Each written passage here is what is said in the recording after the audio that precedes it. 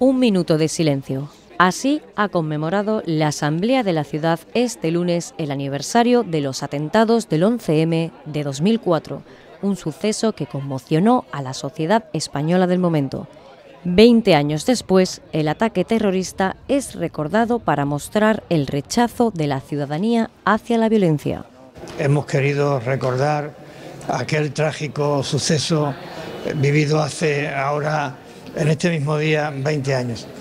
Eh, un trágico suceso que, creo que nos cambió a todos de alguna manera la vida. Eh, creo que todos recordamos qué estábamos haciendo aquel día, en aquellos trágicos momentos.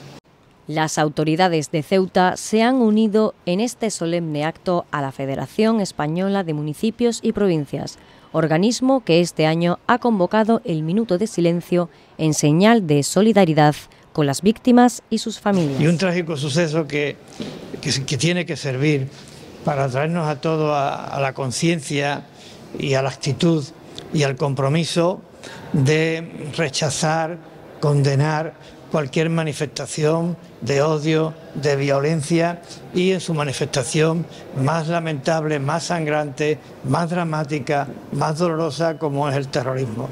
A todos poner de manifiesto de una manera categórica, rotunda, sin, ambigüedad, sin ambigüedades, que el terrorismo no tiene cabida en una sociedad democrática, que el, terrorismo no tiene color, no tiene ideología, no tiene fundamento, no tiene sentido.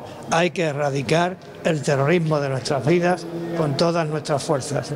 Frente a la puerta del Palacio Autonómico, las diferentes formaciones políticas han finalizado este gesto entre aplausos. Un minuto de silencio dedicado a las 193 personas que ese día, 11 de marzo, perdieron la vida.